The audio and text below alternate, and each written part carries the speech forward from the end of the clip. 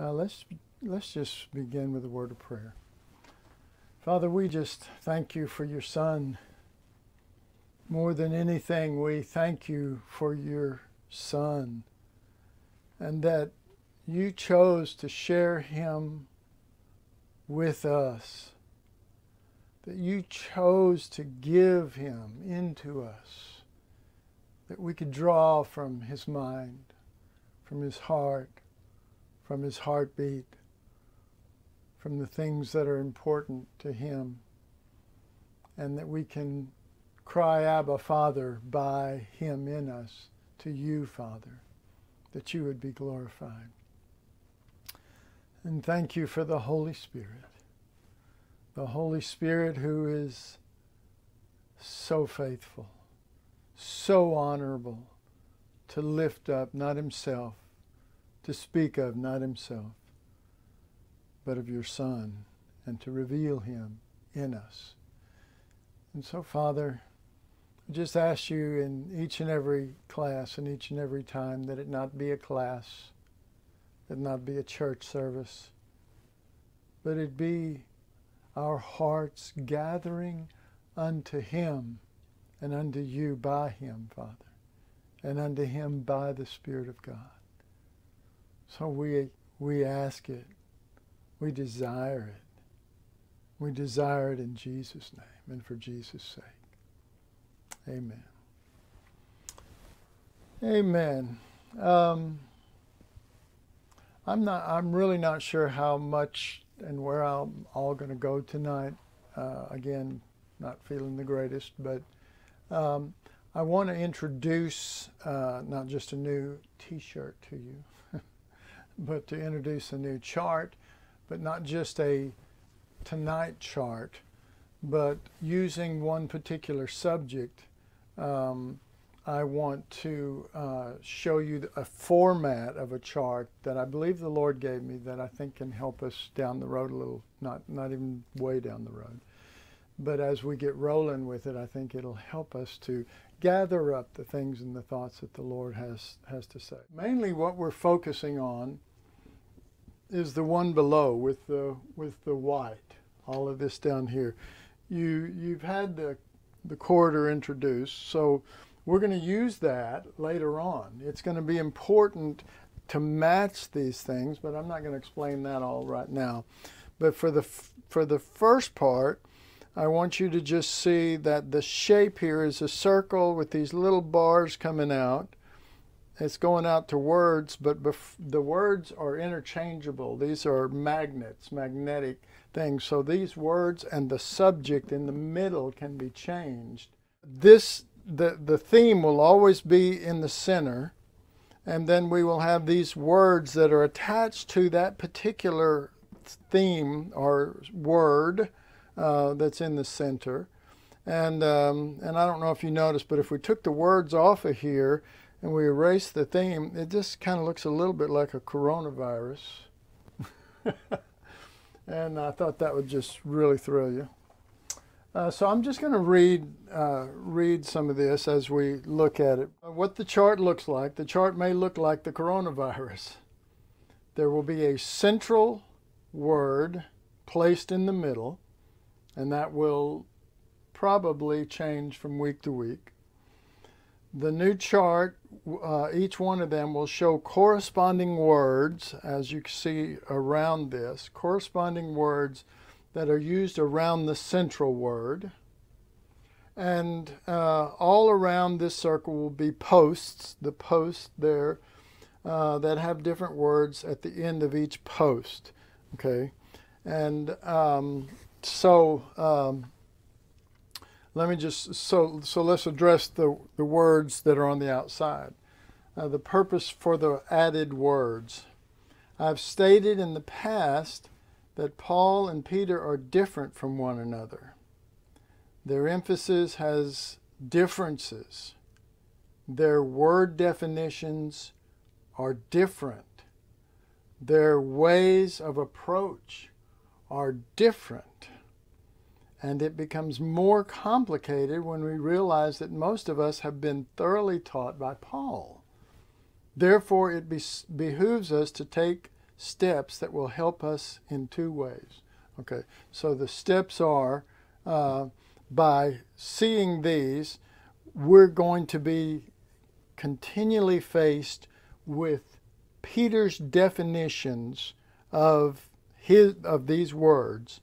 And by doing that, it's going to keep us from applying old definitions to faith and believing and hope and, and revealed and appearing and sufferings and glory. Um, it's going to it's going to keep by doing this chart this way. It's going to keep us tied to Peter's definitions instead of reverting back to Paul constantly, which we're so familiar with that we easily revert back to that. Okay. And the second thing, I said it behooves us to take steps that will help us in two ways. The second thing is to give us corresponding words that will prove Peter's meanings. And that's that's what we want to do. We want to prove those meanings. Anybody can go to a book of the Bible and say, well, this means that, and this means that, and this means that. And I think in a situation like this with, with Peter, um, uh, since it's a, a, book that we don't normally deal with so much, uh, it's easy, it would be easy for someone, me, anybody, to just say, oh, well, this means that, and this means that, and this means that, and to tie it all together with what they, what they think. This chart, and as we follow through with this chart, is going to prove that these are the meanings of the words that he's using. Okay. And so uh, there was a time not that long ago that I spoke uh, concerning, um, it was at the end of one of our, our times together, and I spoke of um, uh, like a, a, family of words that, that, the, that the writings of Paul and his words are like a family that gather together and they support one another. I, am sure some of you remember me saying that, and and that was at the very end of a class. And I thought when I left, I thought that must sound crazy, you know, in a certain sense, because um, it could they could be um, words that support, you know, these meanings, but a family of words but I, I see it that way. I've seen it that way in, in my studies in, in First Peter to see that they become a family that support one another in their meaning and that you don't you don't just isolate one word and find a definition and you stay with that. What you do is you find a word and then you find the family of words around it that are always around that word in, in First Peter. And from there, you can clearly draw the definition. So I probably said all that here. But um, those words will be words that correspond to the central word, which is what I said before. All these circular around it will correspond to whatever the cent- central word or thought is. Um, we will be using corresponding words to help give definition to the individual word placed in the circle. Okay? So all of these guys are going to be a family that supports the meaning of what's in that circle. Uh, in many cases, they will all together disprove the old definition, meaning, well, let me go ahead and finish reading uh, in many cases, they will all together disprove the old definition of the central word as applied to Paul's definitions. This is critical, for if we cannot move away from Paul's definitions to Peter, we will never understand this epistle. And that's just a fact. All right, so basically, um, we're going to be, uh, uh, we'll probably deal with this this subject next week. We did deal with it in the past, but I want to deal with it in the context of this chart that the Lord gave me, and it'll help not just focus on one word and then next class one word and next class one word. It will help us to see how these words are supporting each word as we go forward so that they don't stand alone and by themselves. So we'll have eventually another word in here and we'll have other words that that will usually surround that word in First Peter uh, to help define the true meaning of what that's all about. All right, so um, let me. Uh,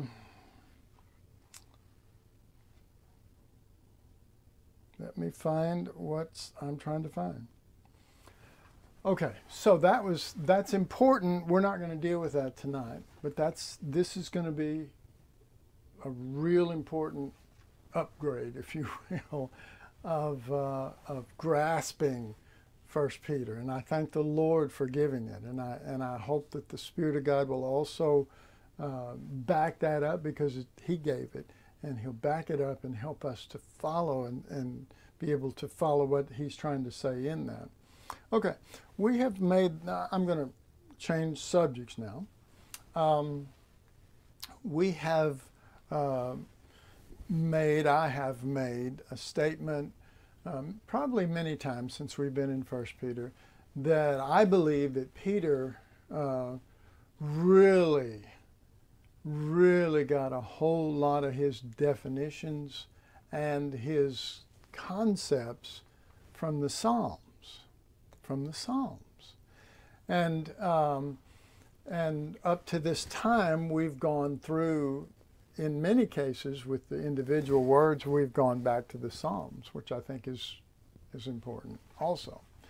But um, so, what I want to do tonight is uh, I want to just uh, show you an example of what I'm talking about that Peter really really drew his understanding of what he's writing about pertaining to Jesus.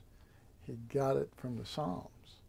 And, um, and what I want to, the, the particular place I want to read from tonight is a place that I didn't, I didn't see that until recently, like within the last two weeks. Okay. So this isn't something I saw. What, what, what convinced you know, at, at the beginning of this, it convinced me without me having seen these scriptures by the Spirit of God that would isolate passages in the Psalms. But this set that I'm going to share tonight is not an isolated bunch of scriptures throughout the Psalms. It's a flow from like the so and so verse straight down. And it's going to be compared with the flow of what Peter says in First Peter in, in the, the applicable verses that flows straight down. Now, let me say this. It's, it's almost a direct quote, but it's not uh, because Peter keeps on going and he, he adds in, but see, Peter looked at these verses and many others in the Psalms, and he didn't see what we saw. Most people go to the Psalms and they're looking for comfort or blessing or, you know, something for that for them. And Peter went there and he saw Jesus, and he saw more than Jesus, and he, and he saw more than Christ crucified, if you will, in the in the context of Paul. He saw the, the, the cross in relationship to the sufferings of Christ in the Psalms. And, he, and, he, and, and it moved him, and it changed him, and it, uh, uh, it, it, brought substance to him as he moved forward. So, um, the scriptures I want to read, first of all, and there's no good way to do this because the the verses don't uh, match up. He bleeds over into verses, but we're gonna. I'm just going to read 1 Peter 3:10 first. 1 Peter 3:10 through 12, and um, I want you to listen. I want you to listen to the words that he uses, and the the the the point that he's trying to make. Okay. So let me let me read that for you, please. This is 1 Peter 3:10 for he that will love life and see good days let him refrain his tongue from evil, and his lips that they speak no guile. Let him eschew evil and do good. Let him seek peace and ensue it. Um, for the eyes of the Lord are over the righteous, and his ears are open unto their prayers. But the face of the Lord is against them that do evil. Okay. Now, I'm just going to go ahead and read through Psalm 34, beginning with verse 12. Okay, Psalm 34, verse 12. Now just listen at first, and then we'll go back and we'll do some comparing and whatever. Psalm 34, verse 12. What man is he that desireth life and loveth many days, that he may see good? Keep thy tongue from evil. Remember, this is the Psalms. And thy lips from speaking guile. Depart from evil and do good. Seek peace and pursue it. The eyes of the Lord are upon the righteous, and his ears are open unto their cry. The face of the Lord is against them that do evil to cut off the remembrance of them from the earth. Now, I hope just from that simple reading that you can that that you can see, and many of you have been really pressing in and studying First Peter and just reading over and over and over. So I know that you you know the the part that I read in Peter, but it is amazing how close. I mean, it, it's it, it's exact almost in places that Peter is getting his ideas of the cross and of what's not not the cross, meaning what is what is evildoers as opposed to doing good. Remember, we've gone over those words, and um, um, and he's come to conclusions about Christ and about his sufferings and about our participation in that. Okay, so let's just let's go uh, through it again. I'm going to read 1 Peter 3.10, and then I'm going to read Psalms 34.12. Okay, 1 Peter 3.10. For he that will love life and see good days, let him refrain his tongue from evil and his lips that they speak no guile. That's Peter. Psalms. What man is he that desireth life and loveth many days, that he may see good? Keep thy tongue from evil and thy lips from speaking guile. And look at the terminology. I mean, the words, you know, evildoers and, and them that do good and all of that. And then, uh, for the eyes of the Lord are over the righteous. This is Peter now. For the eyes of the Lord are, are, are over the righteous, and the ears are open unto their prayers. But the face of the Lord is against them that do evil. Psalm 34, verse 15. The eyes of the Lord are upon the righteous and his ears are open unto their cry. The face of the Lord is against them that do evil, to cut off the remembrance of them from the earth. All right. So, th- this would be a very interesting search if you had the time to take these scriptures and um, to uh, and, and I don't guess we're really at that point yet, but when we get to chapter 3 and we start seeing the real meaning of all these words that Peter's giving, and he spells it out, but he's using these words, and then go to Psalms and read it, and, and then try to think about how we perceived that, those scriptures before and how Peter got it and the Lord gave it to him and revealed uh, the sufferings of Christ in relationship to that and our, our blessing to be partakers of that. Um, and the contrast is amazing. Uh, it's probably not any greater than the way we used to go to First Peter and read it and get, you know, the, the most nominal view of what he's trying to say. Well, don't do evil and da da da da, or don't be an evildoer. We say, well, I'm not. You know, yeah, but are we, according to what Peter saw in these scriptures also? Okay. Um, I am. This would be so short if I cut off now. I'm just so, so weak right now. Um,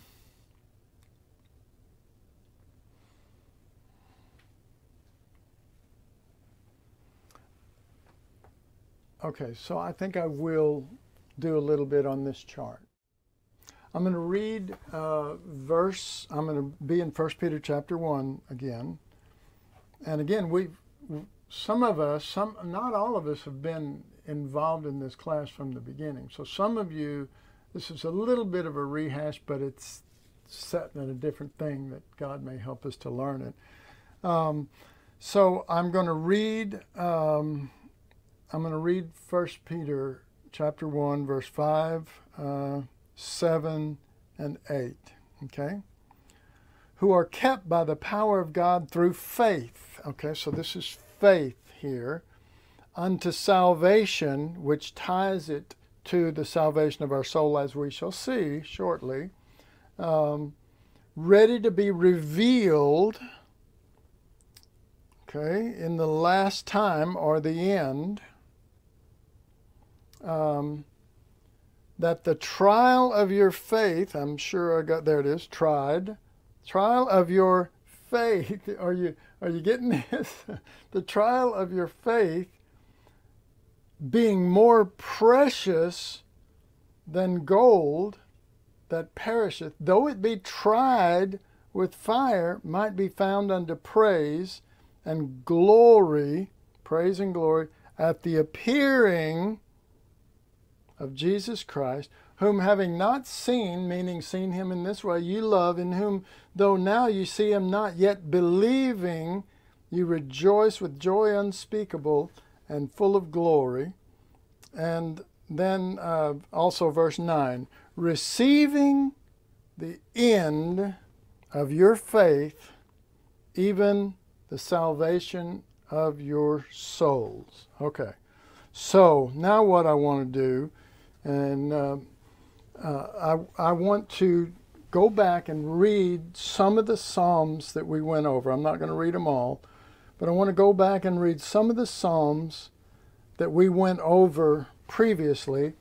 And I want you to begin to notice, first of all, obviously, notice what the salvation of the soul refers to, but also, just as important, is to notice words that are used in, uh, in Peter um, in relationship to the salvation of your soul. Okay, so this is Psalm 6, 2 through 4. And this one's just kind of a preliminary one. Have mercy on me, O Lord, for I am weak. O Lord, heal me. And that does refer into chapter 3. Um, for my bones are vexed. My soul is also vexed. My soul needs salvation. But thou, O Lord, how long? Return, O Lord, deliver my soul, not deliver me from my enemies. Deliver my soul that's freaking out in the circumstances. Oh, save salvation of my soul, all of the things that, that we just read. For the, save me for thy mercy's sake. Um, Okay, so now Psalm 62, verse 5 through 7. My, my soul, my soul, wait thou only upon God, for my expectation is of Him, meaning what's going to come in the end. Uh, in, in, in the end, you will save me, he's saying. He only is my rock. Okay, that rock is also included in the first chapter of, of Peter. Um, for he only is my rock and my salvation. He is my defense. I shall not be moved. My soul will not be moved. In God is my salvation. and my glory, the rock of my strength and my refuge is in God. Okay? Um, just a few more here. this is Psalm 72, verse 13. He shall, this is Psalm 72, verse 13, he shall in the end save me. He shall in the end spare the poor and needy and shall save the souls of the needy. Not save them from the problem, but save their soul from freaking out and not being with him in it. He shall redeem their souls. Salvation of the soul is, is the phrase that Peter used in 1 Peter 9. Um, he shall redeem their souls from deceit and violence, and precious shall their blood be in his sight, which is crazy because he's definitely not delivering. He said, precious will be their blood in his sight. Okay, this is Psalm 120, Psalm 120, verse 1 and 2. In my distress I cried unto the Lord, and he heard me. Deliver my soul, O Lord, from lying lips. Here's the mouth down here at the very bottom for those of you who couldn't read it. Let's see, right here. We have lag in this. um, uh, deliver my soul from lying lips. Now remember all those scriptures that we read that, that matched up. Um, and from a deceitful tongue. Okay? Deliver what? My soul, my, my mind, my will, and emotions that, that are not with him in the corridor. Okay? Uh, Psalm 123, verse 4. Our soul, our soul is exceedingly filled with the scorning of those. Okay, I lost my little evildoer that I, I drew up here some time back. Uh, but but he's talking about the evildoers. Uh, our soul is exceedingly filled with the scorning of those that are at ease and with the contempt of the proud. Okay, our soul. All right. Uh, Psalm 124, 2 through 5, and this is the last one. Some of you probably know this one well. If it had not been the Lord who was on our side when men rose up against us, that's evildoers, okay? Evildoers. Then the waters, wait a minute, then they swallowed us up quick when their wrath, okay, where's the sufferings here? When their wrath was kindled against us, always against. The evildoers are always against. Then the waters had overwhelmed us, the streams had gone over our soul. That's where we'd be losing the battle in our soul. Then the proud, then the proud waters had gone over our soul. Okay, what we've done by using this chart is we have shown uh, certain words that are used over and over in Peter. We've shown certain words that are used over, over, over and over in the Psalms that match or correlate to a certain definition. Okay. And when Peter in he didn't get even down to 10 verses. Uh, he got to verse 9 before he talk, started talking about the salvation of our soul. Uh, and we talked about that. That's, you know, that's not, our soul is not automatically saved when we get saved. We're born again of the Spirit of God. And our mind, will, and emotion must be renewed to that. And Peter sees that not just as some Christian mind, will, and emotion renewal to be a Christian. So I'm a Christian now, so I don't think like I did. He's talking about, Peter's talking about in relationship to these things, and so was David. So was David.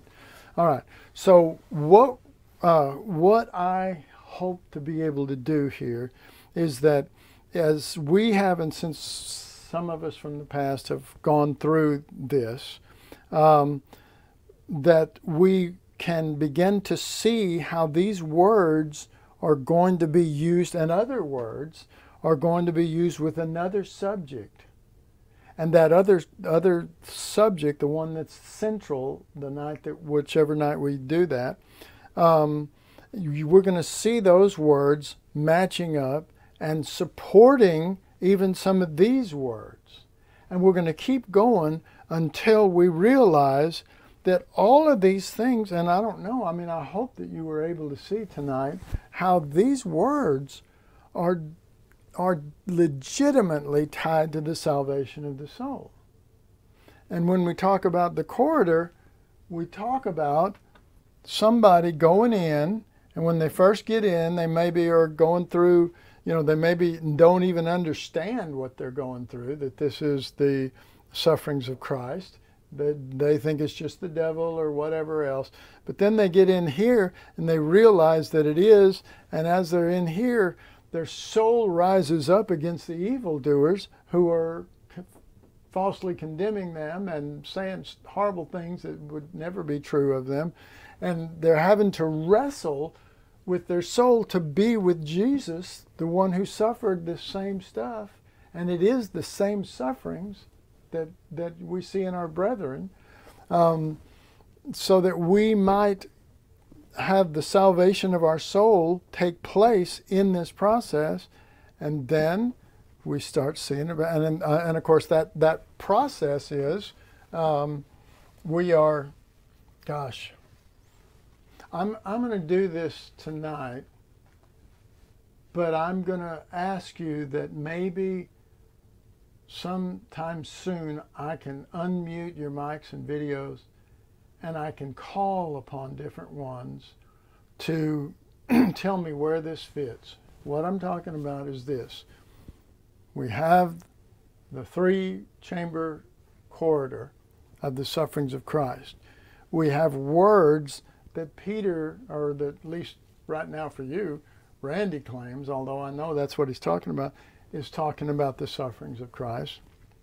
So, at which point in this three part corridor does each word fit? Now, go with me. Maybe you can answer this already in your head. Okay, so let's talk about the sufferings. All right? At what point, where would this fit? Well, we know that it's all the way through but it's really primarily sufferings um, when our soul starts getting getting freaked out about everything. And that, but it's not the sufferings of Christ. It's just our soul suffering. So we can put that there. Okay. How about the mouth? Well, if I had my little guy up here that's an evildoer, no, no, it's fine. I said to do that. Um, his mouth would be speaking down on whoever's in the corridor and saying all these things that are causing his soul to rise. Okay? So, where would being tried fit? It too would, would kind of be across, beginning uh, here in this part and moving into that. Okay? Um, so, that's that's the problematic part. But let's remove these parts now instead of seeing it as somebody who's having just a hard time or looking at the issues. And let's think about the purpose of God in this. All right?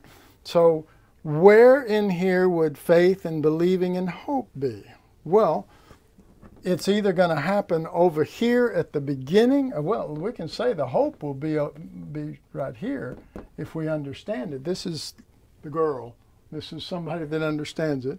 She has hope going in there, and she believes it, and she walks in it here. Okay, so um, uh, at a certain juncture in here that leads into this second part, Christ is revealed in her as that lamb.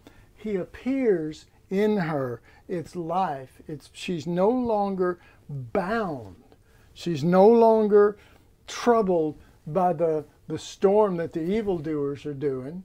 she's going to be with the Lord in his sufferings. Okay, instead of like Peter running away when they came to take Jesus. All right, so then um, God will look and he will see that faith for the appearing of Christ and he will call that precious. Again, this would, we'll put it over here but it will be precious. This is this is the true meaning of precious is when God sees our faith that has been tried and comes out as gold. All right? And then when Christ appears, we have received the end, the goal, which is glory in, to Jesus, whom we allow to live in us and glory to the Father who gets his Son out of the altar. I don't know I can say it any better, so I'm going to stop. But uh, I hope that little thing that we just did gives you a good idea of how, what if we could take almost any word in Peter and lay it out on this chart and genuinely see that it fits within this and finally get to a place in our own mind and in our own hearts where we would know where the words go and what part of the corridor that they would go in. Amen. Lord, I know you gave me this chart, and I know I'm um, such a weak and foolish vessel that I, I'm, I'm in my spirit. I'm so excited to to communicate, to share. And I don't know if I go too fast or say too much. I just, I worry about that, Father, because I want your people to get what you have this class for. And it's more than a class, it's you wanting to open our eyes and our hearts. And so I ask you, Father, to please um, bless the charts and bless all of that and bless the stumbling that I do and reveal your Son not because of any greatness of anything except the greatness of Him whom we love, whom we gather to hear and to know and to, and to see. So, Father, have your way in us. In Jesus' name, amen.